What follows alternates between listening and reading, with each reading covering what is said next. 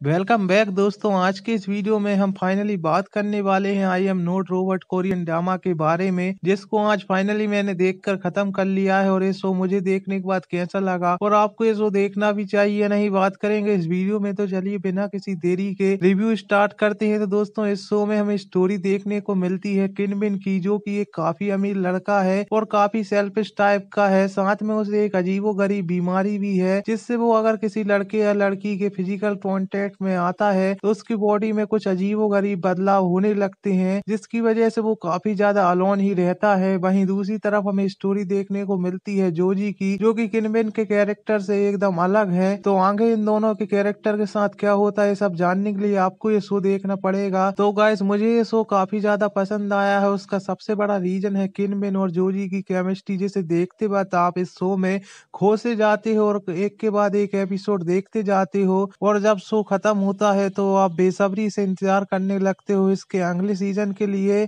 तो अगर आपको एक रोमांटिक कोरियन ड्रामा शो देखना पसंद आता है तो ये शो आपके लिए हाईली रिकमेंड है, जिसके आप बिल्कुल भी मिस मत करिएगा। काफ़ी ज़्यादा अच्छा शो है और आपको काफ़ी ज़्यादा पसंद आने वाला है। तो रिव्यू पसंद आया हो तो इसे लाइक कर देना चैनल पर नए हो और भी ऐसे इंटरेस्टिंग ड्रामा के रिव्यू देखने के लिए कर लेना इस चैनल को सब्सक्राइब मैं मिलता हूँ नेक्स्ट वीडियो में। Thanks for watching